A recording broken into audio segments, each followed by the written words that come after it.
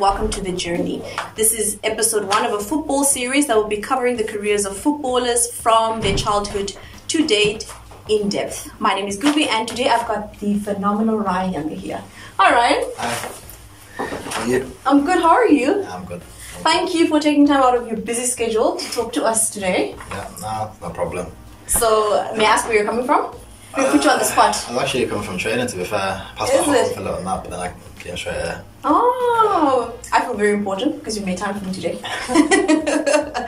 so, before I dive right into um, speaking to you, obviously, about your career aspirations and your phenomenal career, um, there's an elephant in the room, which is obviously COVID, Yeah. and it's been a hectic experience, I, I think, for everyone. Can you tell us a little bit of your COVID experience, like with the lockdown, and how you dealt with that? Um, through lockdown, but what this time? About this time last year, I think it was.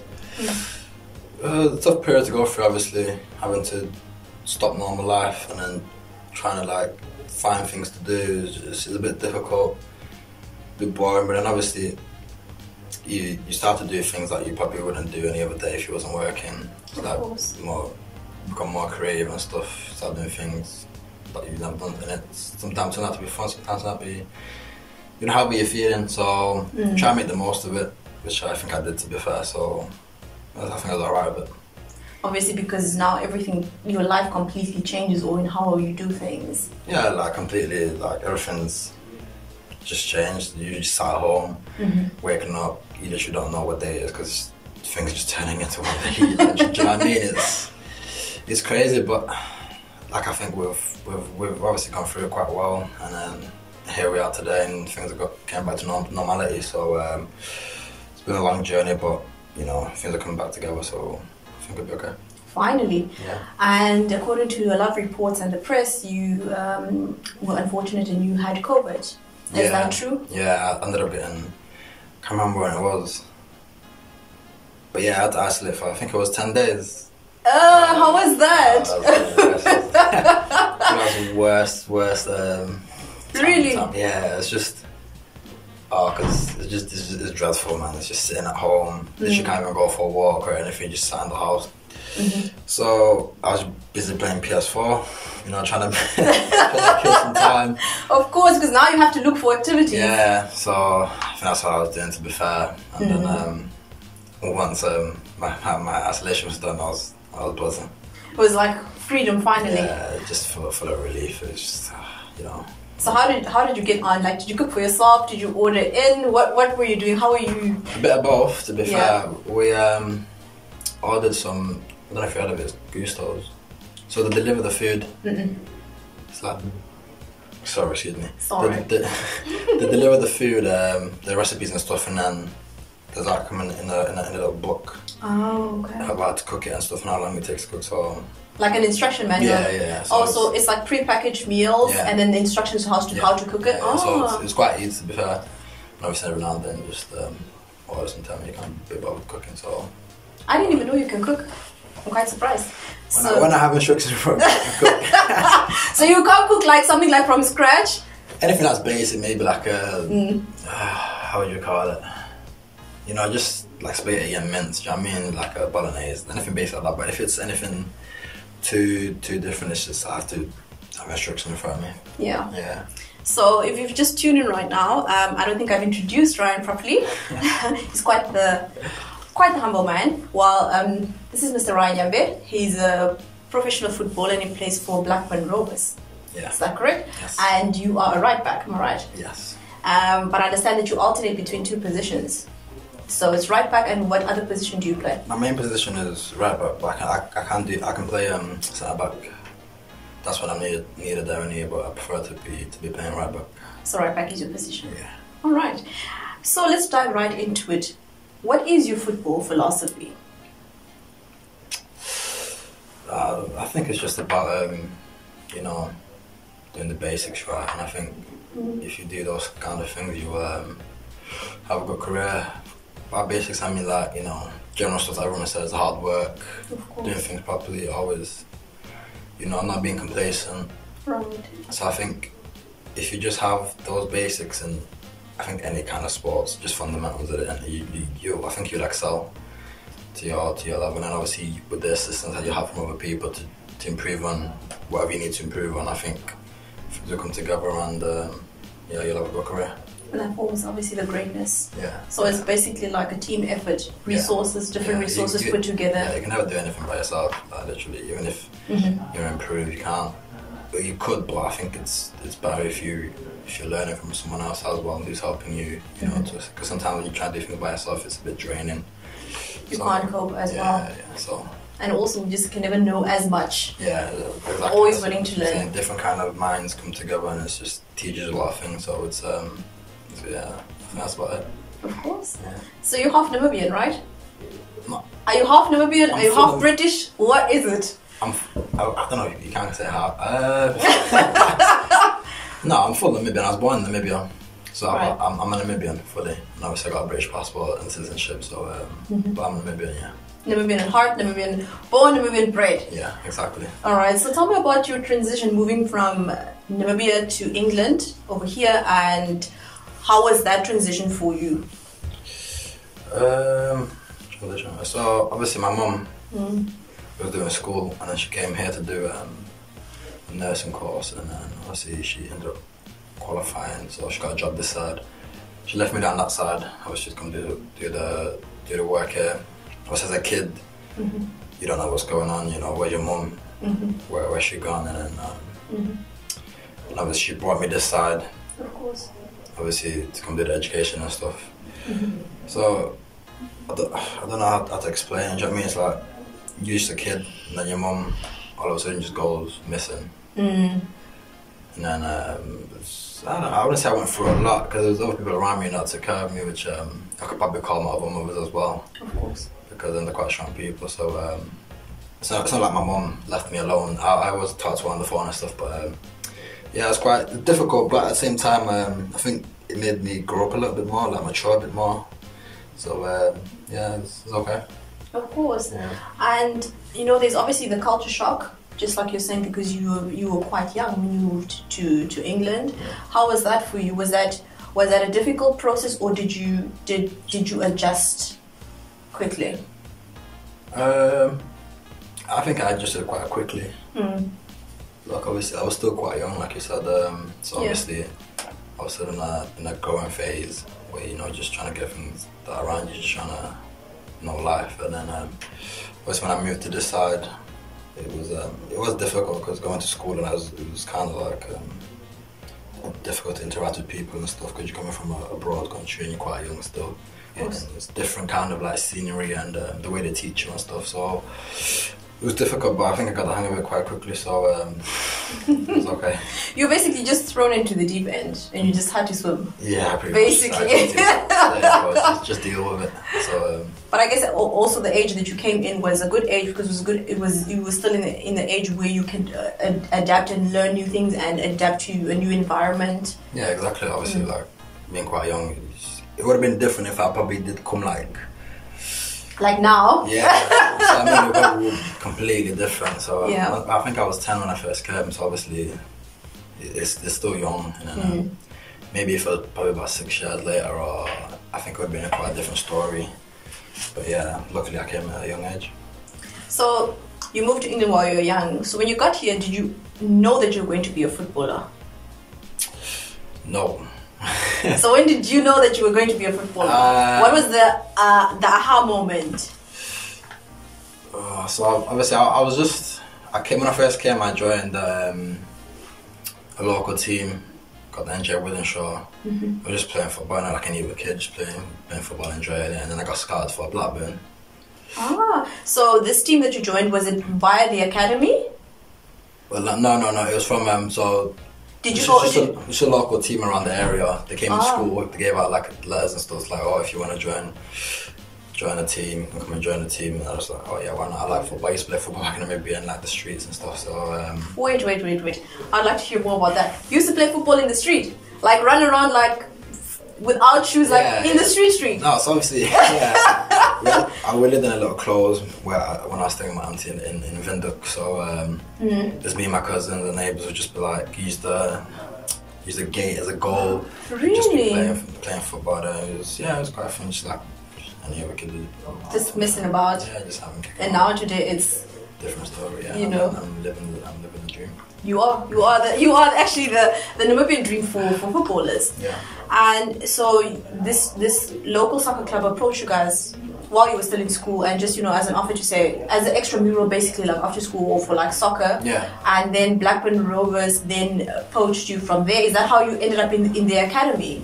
Yeah, so obviously I was just playing. I, I don't know how long I was playing for them. it Must have been like uh, maybe a year or something. I'm not too sure. And then um, I got approached by Blackburn, and then I went down trial for six weeks, and then um, yeah, so they signed me, and then, um, and then I just thought this, you know, when things get serious, and, and I still like what a teenager, 13 and stuff, but um, it was you know when I thought like God, this is probably my best chance to to, to uh, make it professional. So um, yeah, that was one. So when they saw you, they were like, "No, this guy's really good." Apparently so.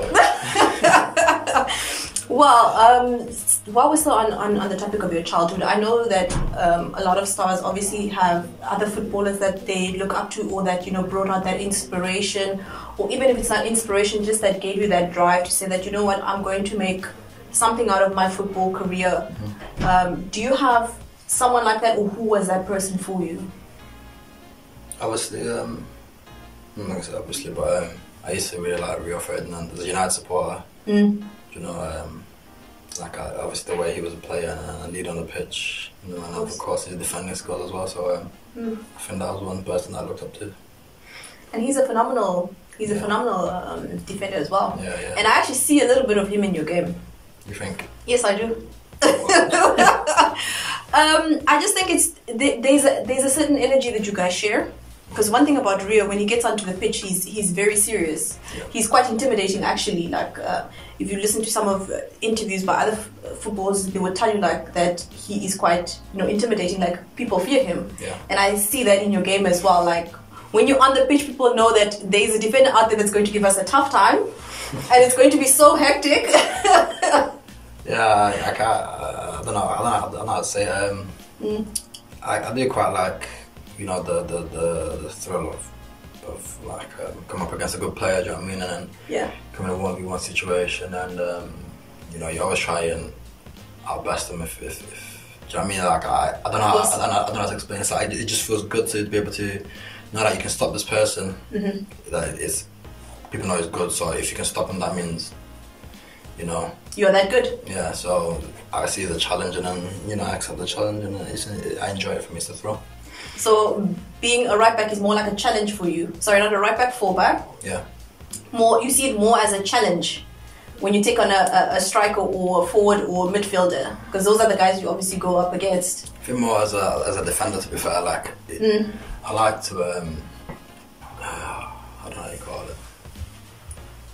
Keep the the good players quiet, like Mhm. during the game. Do you know what I mean? Like, Mm. so if there's a good player on the pitch and then and he's he's, he's playing in my my area of the pitch, Mhm. I'll try my best to keep him quiet. So um, you know, he's people see that maybe it's not all that, but obviously like. Mhm.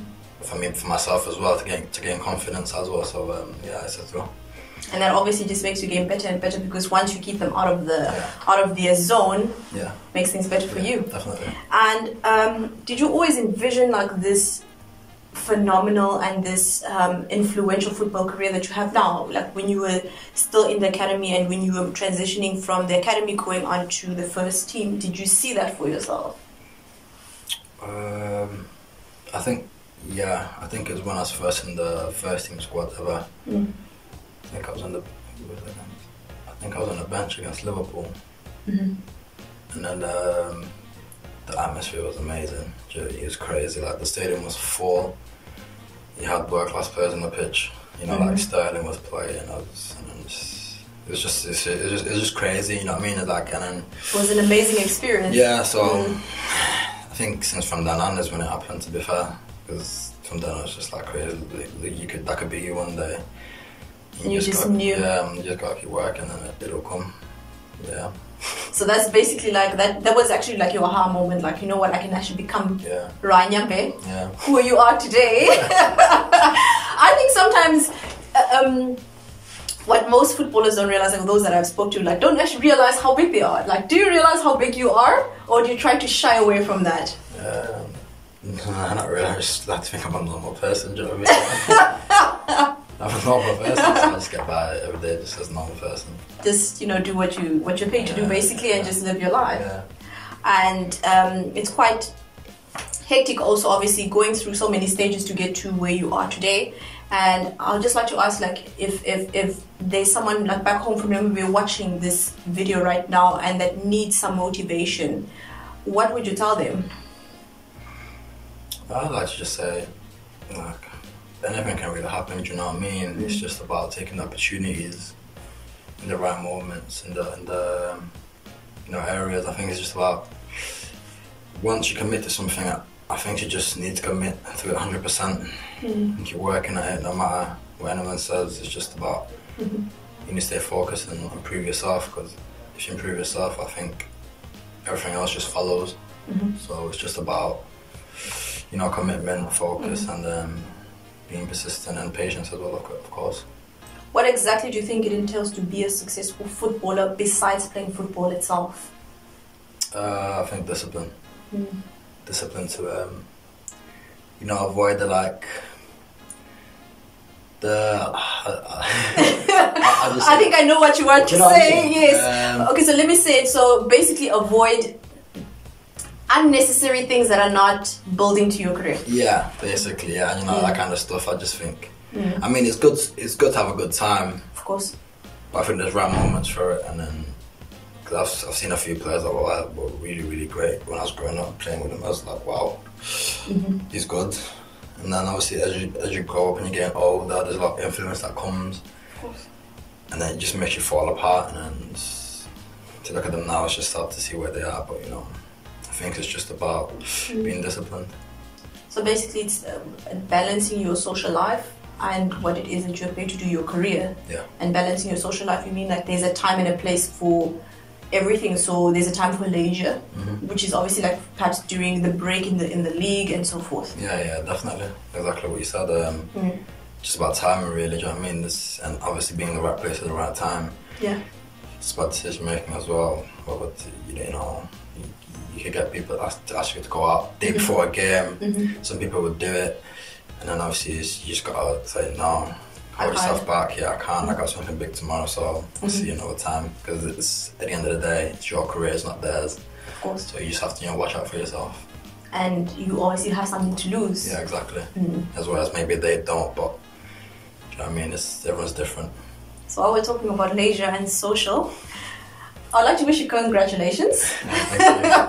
According to several reports, actually, and several media houses and several TV stations, you're engaged. Yeah. I'm so happy for you. Yeah, thank you. So, uh, what made you take this big step? Um, I've, I've I've been with her quite a while, so Mm. actually we were friends before we got together. We Oh, met in church, um, so we're friends. I'm you guys met in church. Yeah. Okay, I think ladies, you guys need to hear. Do you hear that? Y'all need to be going to church. I'm just joking, but yes, you guys met in church. But yeah, yeah, so I've Okay. known her for quite a while. So I've been on her for maybe about six, maybe seven years now. So um, Oh we're quite close and we get each other. So I just thought, you know, Mm. it's time. It's the right time you need to Yeah. take the next step Yeah, and transition into to life. Next life, yeah. And is is she then part of your support system? And what does your support system look like? About my support system, um, I think obviously we support each other, Mm. but like um, I think as life goes on, and obviously end up here together, and I think then that's when it becomes, you know, we can support each other more. Mhm. But yeah, you know, we keep each other going. And is there do you have other people that form part of your support system besides your coach? Uh, for example, maybe like family side and so forth, or what is what does your support system look like? Because I think this this information will be very important to people because I don't think they realize what it takes to be able to keep this kind of career going at the level that you're going at. Yeah. So what what kind of support do you have outside football that keeps this career going and that keeps you you know getting better and that keeps giving you all these amazing opportunities? Um, support. So obviously, obviously my parents. Of course. Obviously they were the, they were probably number ones. Mm-hmm. I think especially my mom as well. She's really into sports. She used to play netball back in Namibia, so she's really into sports. Hold on, hold on, hold on. So sports is in the is in the blood. yeah, Your mom used to play netball. yeah. Oh, that's netball. amazing. Yeah, um, So that's where you get the, the, the sportsmanship yeah, from. yeah, okay, yeah, yeah. So alright. Obviously, my, my dad back home in Mm. Namibia, he's, he's still back home. They're not my parents aren't together anymore, so he Okay. used to play football as well. So again, Oh, this is so good. So your dad was a footballer, right? yeah. So I think that's where I get my uh, athleticism from. So Alright. um, obviously then this side, my stepdad as well. obviously, I think it's been a big part of you know when you when I say discipline, he's very strict on discipline. So um, I think that's helped me a lot, kept me stable. Mm-hmm. And obviously, as my mum, she's you know was a big supporter. You know, like she, if I knew, like if you was a mum, you'd care for your son, but she, she Mhm. she's really been there for me. Uh, um, so, um, but yeah, I say them. And so that is like your support structure, which is now your family, Yeah. and then now which is going to be your your significant other as Yeah, well. yeah, All right, and then part of that forms obviously your coach yeah. with Blackburn Rovers, and that is Tony Mowbray. I hope I'm pronouncing his surname Yeah, right. that's right. So, what impact has Tony had on your life? Um, I don't know. You would say probably call. I probably call him like a what, football father. Um, I think so. Um, mm, Yeah, like like he him himself has always a bit disciplined. You know, he's he's always um he's always been on my case to, to, to be improving every every year that I've been